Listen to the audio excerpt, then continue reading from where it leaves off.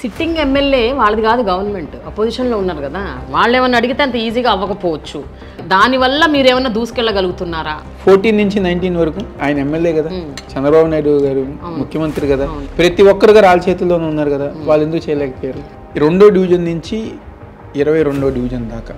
మొత్తం అన్ని డివిజన్స్లో ఏమేం కార్యక్రమాలు చేసాము ఎంతవరకు డెవలప్మెంట్ చేసాము ఏ రోడ్డు వేసాము?